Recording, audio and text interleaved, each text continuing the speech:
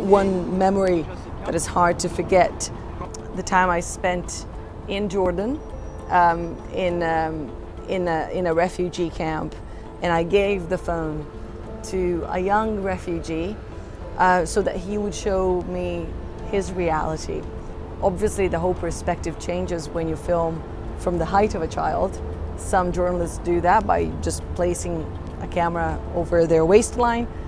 That was not the case. That was a child filming his own story. And I think one of the most extraordinary things that the mobile phone allows you to do is that collaboration.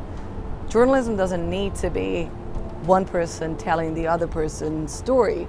Journalism can be um, the journalist allowing for the subject to tell his own story. And I think that could well be the future of journalism in many aspects. Of course, it's lighter, it's faster, you can upload pictures immediately, you don't need to transfer from one thing to another, you don't depend on cards, memory sticks anymore.